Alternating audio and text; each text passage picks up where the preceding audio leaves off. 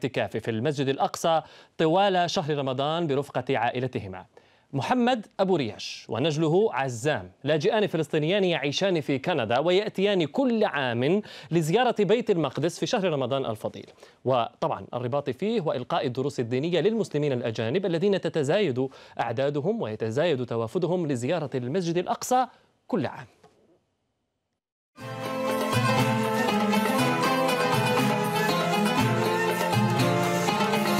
أنا مقيم في كندا. آه، في رمضان بحاول آجي كل سنة. جيت ب 2014 15 ثم انقطعت بأسباب دراسية ومن ثم الكورونا جاءت وهي أول سنة إلي رجعة إحنا هذا المكان آه، هو آه، قبلة العاشقين كما يقال. وإحنا هون يعني كل عائلتي جينا من قطعنا آلاف الأميال وجئنا للمكوث والرباط والإعتكاف في المسجد الأقصى شهر كامل.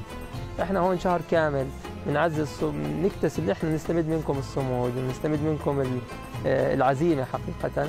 إحنا هون آه، بنرجع لأصلنا حقيقة. إحنا مش يعني تعلقنا مش تعلق آه، سطحي أو بسيط. إحنا تعلقنا تعلق عميق تعلق إيماني وتعلق عقدي بهذا المكان. المجموعه الموجودة حاليا يعني متنوعة.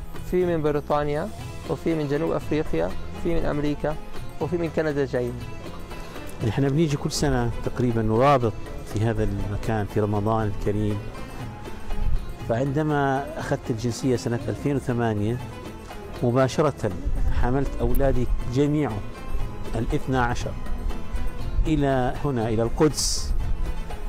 وأول ما وطئت أقدامنا أرض الأقصى المبارك هبطنا سجودا. شكرا لله عز وجل. على أن أنعمنا هذه النعمة الكبرى أن نقبل ثرى آه، الأقصى وثرى فلسطين. إذا قد تبدو هذه القصة مثيرة طبعا للكثير منا لكن سنتعرف على تفاصيلها مع أبطالها. ينضم إلينا مباشرة إذا من القدس محمد أبو رياش ونجله عزام أبو رياش. كلاهما معنا. أهلا بكما سيد محمد وابنك عزام وكل عام وأنتما بخير وإلى الله أقرب. عيد مبارك سعيد لكما وطبعا للعائلة يعني بأسرها. إذا أبدأ معك سيد محمد أبو رياش. يعني من من منا يتصور أن عائلة مواظبة على القدوم للقدس الشريف كل سنة من كندا؟ يعني بلد بعيد جدا والقدوم فقط للرباط والدعاء وكذلك نعم. إعطاء الدروس. من أين أتت هذه الفكرة سيد محمد؟ آه كما قلت آه في المقدمة حضرتك يعني قدمت أخي الكريم أنا تعلق قلبي بالقدس وبالأقصى منذ وطئت أقدامي لأول مرة وأنا في الثانية عشرة من عمري عام 1976 أتيت إلى هنا إلى القدس وأتيت برفقة والدي رحمه الله. وعندما رأيت الأقصى خلع قلبي وسقط فرأيت مهابة وإجلالا فتعلق قلبي منذ ذلك الوقت بالقدس وأتيت مرة أخرى ومرة ثالثة أي بين الاحتلال ل آه، آه، آه، ثم يعني عزمت العقد على أن أحصل على الجنسية الكندية فذهبت إلى كندا وقدمت لها وبفضل الله تعالى منحت وحصلت على الجنسية الكندية. مباشرة عام 2008 كما في المقدمة حملت أهلي جميعا. من تورونتو العاصمة الاقتصادية إلى كندا إلى القدس الشريف عاصمة فلسطين. نعم. وأتينا إلى هنا. وعرفت أولادي على القدس وعلى ما هو الأفئدة على قبلة العاشقين كما قال آه، ابني الدكتور عزام. وأيضا هم ورثوا ورثوا هذا الحب وهذا العشق للأقصى والقدس. فأصبحوا يأتوا ابني الدكتور عزام أتى في أكثر من مرة في 2014 في 2015 أما في الأقصى وشارك في إمامة التراويح والقيام والتهجد وإعطاء الدروس. آه، أولادي الحافظ بسام أيضا ابني حس حسين أولادي حسان وعدنان بناتي كلهم أتوا إلى القدس. زرافات وحدانا لي آه، يعني ينهلوا من مهي من منهل هذا العشق الرباني الوجداني الروحي. أه، طيب لو لو لو تترك لي فقط سيد آه، محمد فرصة يعني- أن أحدث قليلا آه، دكتور عزام.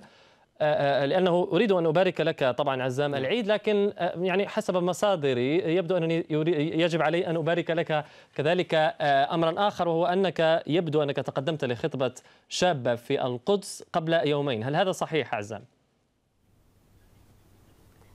صحيح. طيب. بكم. والله يبارك فيكم. نعم عقدت قراني في المسجد الأقصى المبارك عشية آه، ليلة السابع والعشرين من رمضان. آه، ووفقنا الله عز وجل أن آه، أن تقترن عامل بركة الزمان وبركة المكان وبركة الإنسان حيث أن يعني المجلس كان مجلسا إيمانيا مليء بالأولياء. كبير أئمة المسجد الأقصى الشيخ ألو... ال- الشيخ يوسف أبو سنينة آه، والدكتور عزام الخطيب آه، مدير عام أوقاف القدس كانوا آه، في هذه الحضرة. وكان مجلسا مهيبا الحمد لله. ما شاء الله. إيه، دكتور عزام يعني لو لو أسأل الحقيقة الشاب الكندي آه، يعني آه، عزام وما شاء الله عليك دكتور وطبعا لديك حياة آه، ربما مريحة في في في كندا ما دلالة الذهاب إلى القدس الارتباط به؟ وأنت شاب كندي ربما تتمتع ببعض التسهيلات بجواز السفر الذي تحمله وكان بإمكانك ربما أن تقضي رمضان في المكان الذي تريد. لماذا القدس بالذات؟ لماذا عقد القران في هذا المكان بالضبط؟ أخي الكريم أولا آه، اسمح لي أن أنقل أطيب التحيات وأجمل التبريكات للعالم الإسلامي والأمة جميعا ولمحبي الحرية والسلام في آه، كل العالم من هذه الرحاب الطاهرة ومن كنف الأقصى الشريف. آه، لماذا القدس؟ القدس هي عنوان آه، كل قضية عادلة في العالم. القدس هي قضية الأحرار. القدس هي رمز صمود الأمة. القدس والمقدسيين هم من يحملوا آه، كرامة هذه الأمة وعزتها آه، خاصة يعني آه، من أكثر من مليار ملياري مسلم.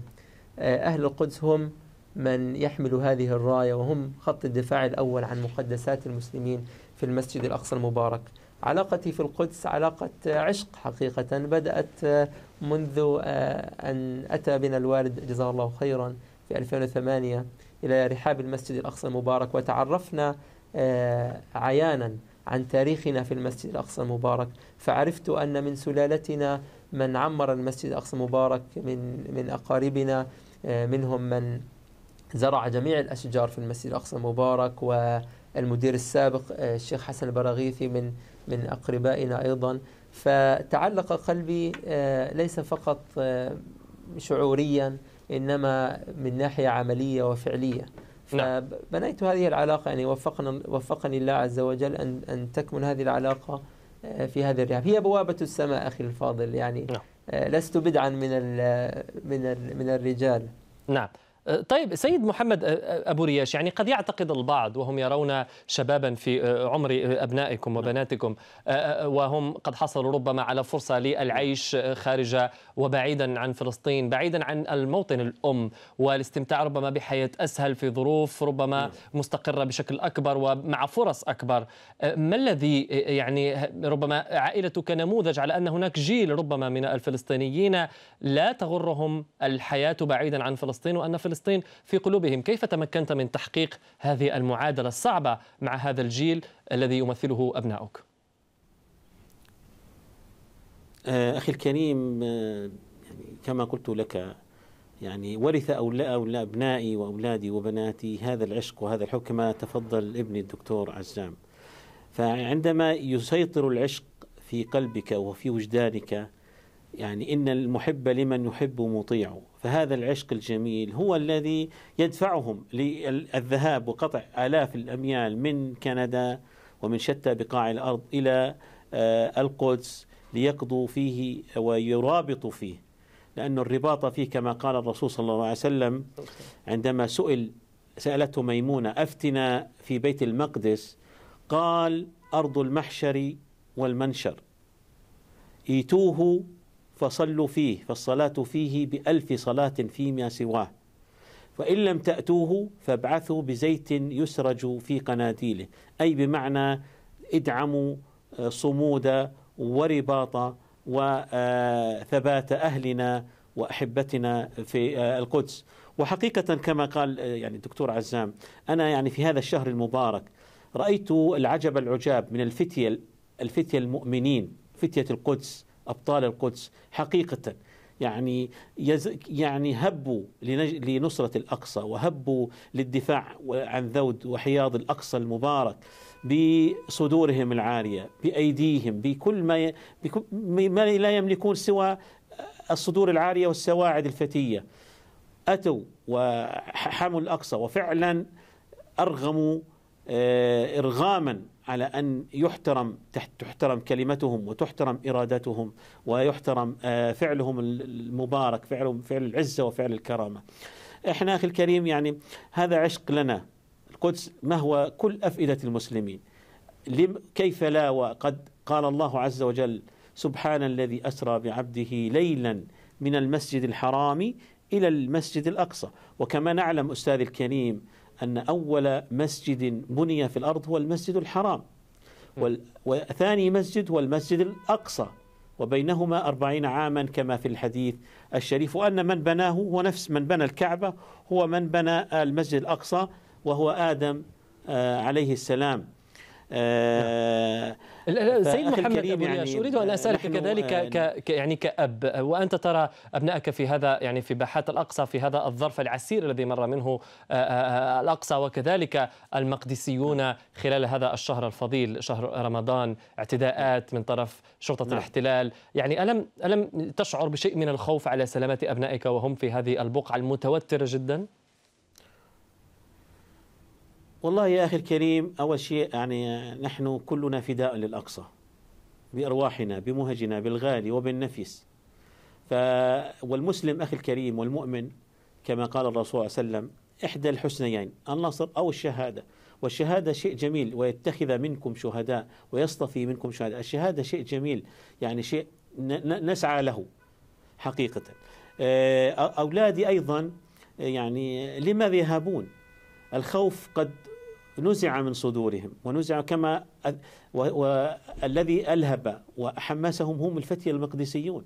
الذي ترى ترى ترى الطفل المقدسي أنا اليوم حقيقة وأنا آتي إلى إلى إلى إلى بوابة الأقصى بوابة إحدى البوابات أجد طفلا يحمل مسدس بلاستيك تخيل ويصوب به على شرطة الاحتلال اللي على الباب. ويعني بكل جرأة وسبحانك يعني إذا الأطفال الصغار لا يهابون يلعبون. والله يا أخي أنه وأنت تسير في شوارع القدس القديمة الجميلة تشعر بالعزة والكرامة. كيف لا؟ وكل محل محل وكل معرض بضاعة يعني أمام آه، سلطات الاحتلال. ينشد النشيد الحماسي والعزة والكرامة وبدون خوف وبدون وجل. والمسمعات تصدح بالأناشيد وتصدح بالأغاني الإسلامية وتصدح بالموشحات وتصدح بالمدائح وتصدح بالقرآن الكريم. فهذا شيء حقيقة يشعرك بأنك يعني أمام أمام جيل وأمام أمام ناس استثنائيين أخي الكريم. نعم. أه، سؤالي للدكتور أه، أه، عزام. يعني يعني ما كان شعورك وقد أتيحت لك فرصة الصلاة بالناس بعد صلاة التراويح في المسجد الأقصى وأنت الشاب الكندي الذي أتى فقط تعلقا بالقدس فيرى نفسه هو ويصلي بالناس في المسجد الأقصى. كيف كان شعورك؟ اولا يعني أنا أقدم جزيل الشكر أن كنت ضيفا على أئمة الأقصى ومشايخ الأقصى وخطبائها آه، في دائرة الأوقاف الإسلامية في القدس. آه، والحمد لله هذه ليست المرة الأولى أن كنت ضيفا وأن حللت ضيفا عليهم. هي المرة الثالثة. آه، الشعور هو شعور جميل جدا. أنني مع إخوتي أنني مع أولياء من أولياء الله هم أئمة المسلمين في فلسطين وفي المسجد الأقصى المبارك. أجواء الإمامة في رمضان في المسجد الأقصى المبارك أجواء خاصة جدا. آه، حثيثة آه، جميلة لها رونق خاص خاصة عند في عند المحراب. آه، نراجع السور معا نشارك الخواطر وغيرها. تجربة حقيقة فريدة. الحمد لله أن أتيحت هذه الفرصة ونسأل الله عز وجل أن تكون هي فرصة يعني للمستقبل لكي تتعمق أكثر. وهي حقيقة رسالة يعني أن هناك إنسان كندي أو من الخارج يشارك أئمة المسجد الأقصى المبارك في صلاتهم وفي برامجهم الرمضانية. والرسالة أن العالم الإسلامي وأن المسلمين حتى في الغرب وفي المهجر هم هم جاليات معطاءة نعم. وهم جاليات ما زالت ما زالت متصلة وأصيلة مع في في جذورها وأصولها التاريخي في فلسطين وأيضا حبها وعشقها للمسجد الأقصى المبارك. والحمد لله نحن جزء لا يتجزأ.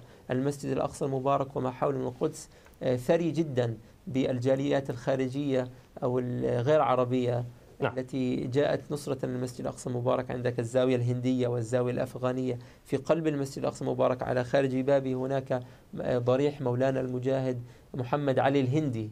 هذا إنسان هندي آه، ولأنه تبنى قضية المسجد الأقصى المبارك وفلسطين توفي بلندن ودفن في الم... يعني على آه، آه، نعم.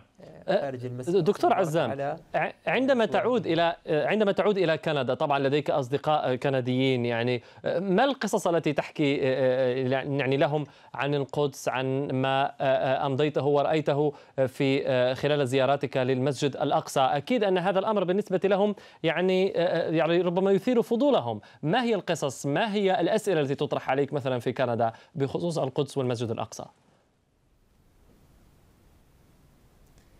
يعني هو المهمة التي أتيت بها هنا آه، هي ليست آه، تشريف بل هي تكليف. عندما نذهب إلى كندا وأمريكا وغيرها نحن ننشر الوعي في بين الجاليات المسلمة وبين المساجد والمراكز والمدارس عن أهمية المسجد الأقصى المبارك عن المخاطر التي تهدده عن أوضاع المقدسيين عن الحالات الإنسانية. آه، الناس متشوقة ومتلهبة حقيقة لكي تعرف أكثر ولكي تتعمق أكثر ولكي يزداد تواصلها مع الواقع الذي يعيشه المقدسيين والذي يعيشه المسجد الأقصى المبارك. فنحن عندما نرجع وعندما نجول الأرض نحن بصدد آه، مسؤولية عظيمة. نعم. والناس متشوقون لسماع الأخبار آه، يعني مباشرة من الذين عاينوها. نعم شكرا لك أو شكرا لكما جزيلا السيد محمد أبو رياش ونجله ودكتور عزام أبو رياش على هذه اذا المداخلة خلال آه، آه، يعني يوم أو أول أيام عيد الفطر. اشكركم جزيلا على هذه المشاركة. كنتم معنا مباشرة من القدس الشريف.